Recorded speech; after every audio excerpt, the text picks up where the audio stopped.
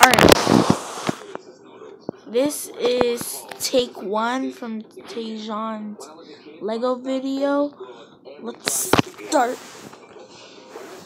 it up. Alright. What I'm what I'm gonna do is a Lego video. Volume The Guardians of the Galaxy Volume 2. Let's get to it. Let's get to the video. First, what we have is the Milano.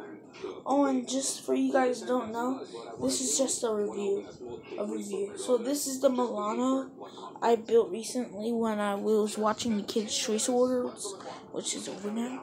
Um, these propellers, they help like go up, and you might be wondering. Uh, uh, okay, you might be wondering. Um, oh snap! You might be wondering right here. This helps that. See, I'm gonna press it. That helps that. And then if you just want to reload them, stick them back on here, and then you ready to go.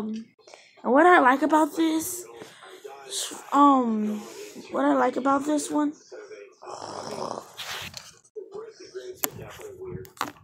What I like about this one is the front and like the back right here. We have some controls inside. We have a cassette player right here. And then here's the hood, the cockpit. Okay. So, let's move on to the Ravager getaway. I like doing this part. I like doing um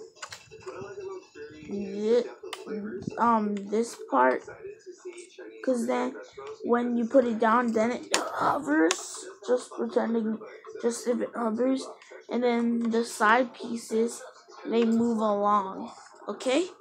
So then we got let's let me show you the Abilisk the Abilisk so the Abilisk it has four arms um a, a lot of jaws and I like this one because these sides right here and this one they connect and that's how that's how they connect and stuff. And what I like about this these um creations is you can even take this off and set it like that. Or you could just do it like um you could just do it like this. And if you move um pieces of the rear ends and stuff you can twist you can even twist his head. That's what i like. So like if somebody comes and that was the set. Oh i think i might have one one more I will be right back. Snack on a handful for a satisfying and guilt-free boost. Brought to you by California Almonds. Munch on. Why do we snack? Because we have nothing better to do. Well, snack on almonds have something better to do. I'm back. I can't find it, but let's move on to the characters in my next video. Let's do it.